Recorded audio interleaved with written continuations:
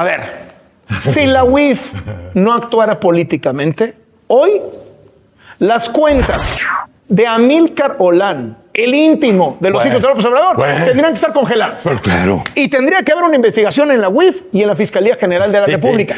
Si eso pasara, ah, bueno, pues te creo lo de Cienfuegos en Nuevo León y te creo lo del cártel inmobiliario no, en la Ciudad no. de México, todo.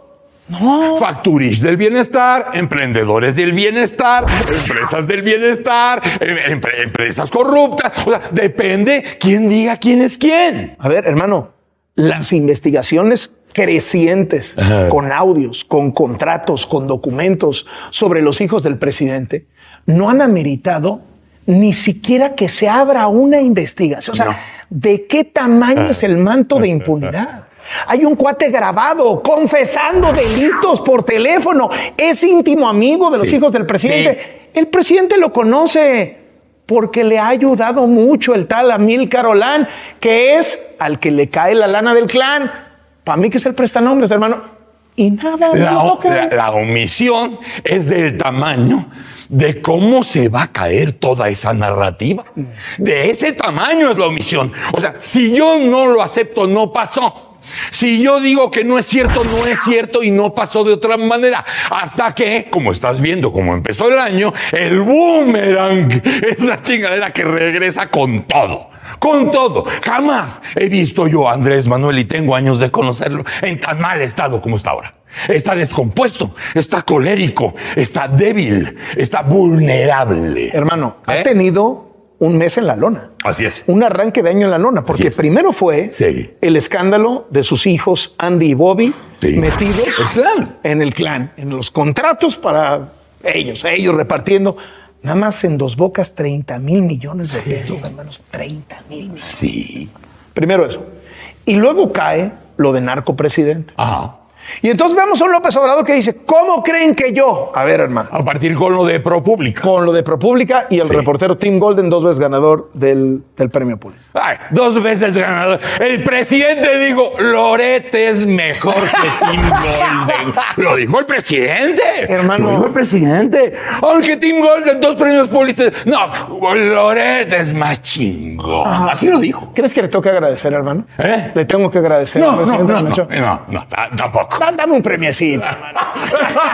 Vamos a inventar los premios latinos. Sí, sí, sí, A lo mejor del periodismo. Bueno, hermano, nosotros creíamos que López Obrador no iba a ser cruel con las víctimas. Y lo fue. Creímos que López Obrador no iba a ser insensible con las mujeres, con los niños con cáncer. Lo fue.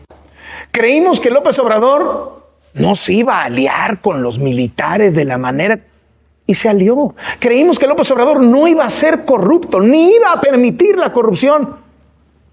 Y ahorita estamos asentados en el discurso de que no nos creemos que López Obrador es narco. Que no nos creemos que hay dinero del cártel de Sinaloa en la campaña de López Obrador. Bueno, está bien, ¿no? Así, al principio no creímos que iba a ser, no, ¿cómo crees que el presidente es insensible? No, hombre, ¿cómo crees que va a ser militarista? No, hombre, ¿cómo crees que va a ser corrupto? Está bien. Pero Ahorita decimos, no, hombre, ¿cómo crees que narco? Está bien. Pero es la, es parte, esperar. es la parte del boomerang, del tamaño boomerang que le toca. ¿Viste la última carta de Sicilia? Sí.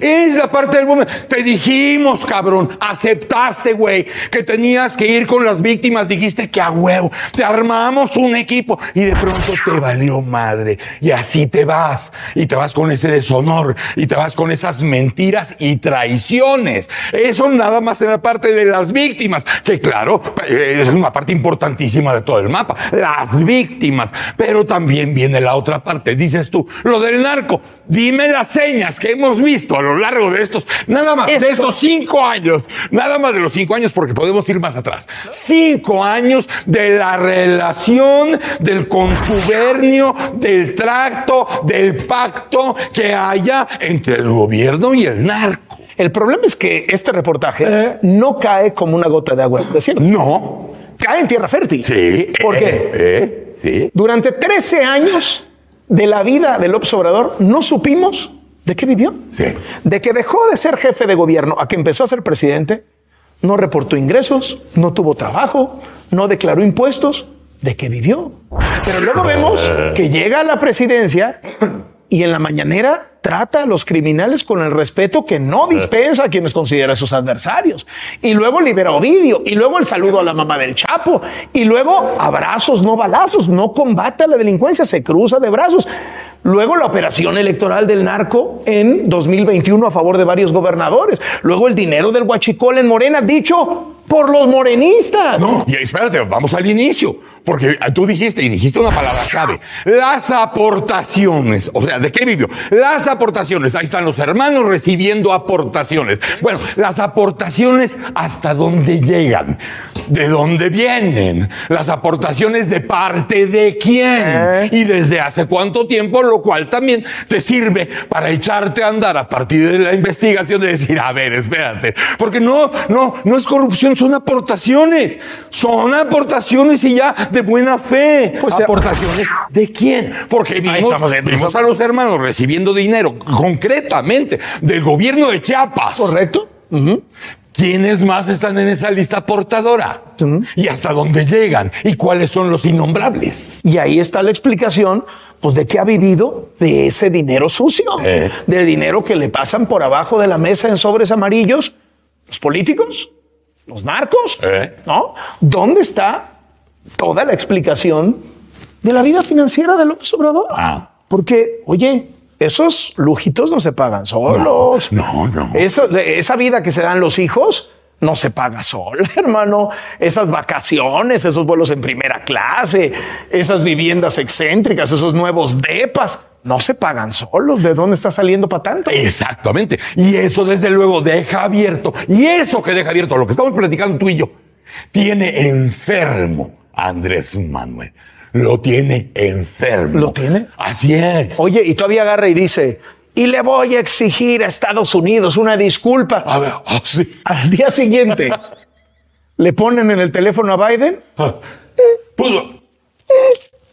¿Cómo ha sido todo el sexenio? Así es. Por cierto, no creímos que López Obrador se fuera a doblar frente a Estados Unidos. Así como hoy no creemos que tiene que ver con el narco. Y- y Trump lo Y dijo. se dobló. Trump lo dijo. ¿Cómo lo dijo, hermano? Ningún presidente, jamás vi a un presidente doblarse tan fácilmente como el presidente mexicano. Lo dijo Trump. Ojo, Estados Unidos ha dicho cerramos esta investigación. Lo dijo el Departamento de Justicia. Lo dijo la Sherwood que vino a México. Lo dijo el embajador Ken Salazar. Lo que nadie ha dicho es, oigan, esto no es cierto. Oigan, no es cierto que López Obrador recibió esta lana.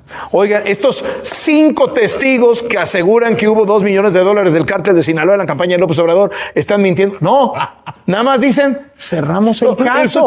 ¿Y por qué cierran el caso? Porque López Obrador les dio 26 mil soldados Pero- y son la cadena. Si López Obrador abre la cadena de la migración, Biden pierde las elecciones y ahí tiene López Obrador una palanca. Pero es parte de la misma narrativa y se vuelve cada día más tétrico y machistoso.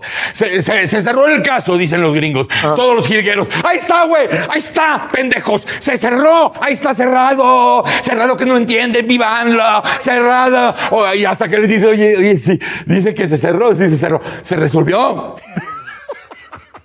¿Es inocente? Es entonces sí, inocente. Neoliberal, fascista, hipócrita.